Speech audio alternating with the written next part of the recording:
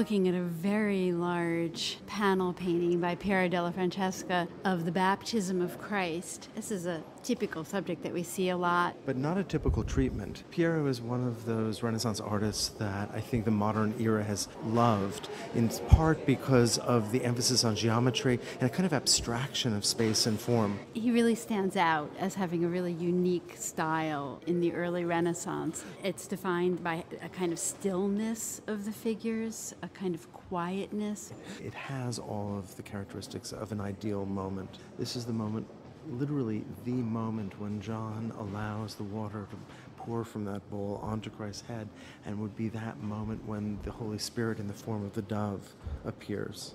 John is so ever so gently and tentatively pouring that water over Christ because, of course, Christ asked John to baptize him. And John at first refused, and Christ insisted because John said, "No, you should you should baptize me."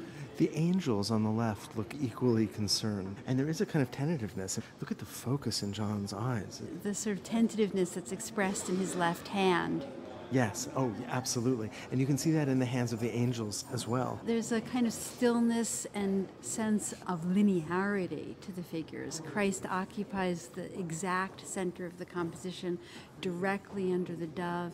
He stands in a lovely contrapposto with his hands in prayer. There is a really strict geometry. You have the verticality that you already mentioned, but not only the, sort of the bilateral symmetry of Christ's body in the center of the canvas, but of John being quite straight, uh, of the angels very erect, the tree, uh, actually all of the trees. And then there's a series of perfect horizontals. Look at the way that John's belt continues the movement of the man who's taking off his shirt to the right, moves across Christ's waist and picks up the belt of the middle angel. That's so right. that you have a kind of perfect horizontal that moves across that's echoed by the horizontality of the dove, whose line is continued by the clouds. And then there are a series of circles. Uh, The painting itself is an arch, but that arch of that circle is picked up and continued by the arc of the top of the cloth that covers Christ's waist, and then by John's hand and arm, and even by the sort of the line that's created as the man pulls his shirt over his head, so that you've got really this sort of continued negative arc or the bottom of the arc of the mm-hmm. circle. And this love of geometry, we know that perspective was something that Piero also was really interested in and wrote a treatise about. This interest in the mathematical foundations of beauty and harmony is something that we really see very broadly in the early Renaissance. I think that there's a, an additional kind of peculiarity which has to do with the placement. Clearly, this is not the Middle East. The hill town that we see just below Christ's elbow is clearly of Tuscany.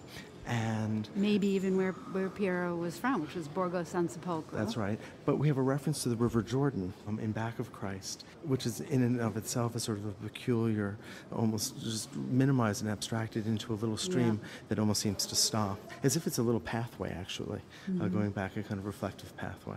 There's a, a kind of intentionality here and a kind of formality that I think is very appealing in the 21st century.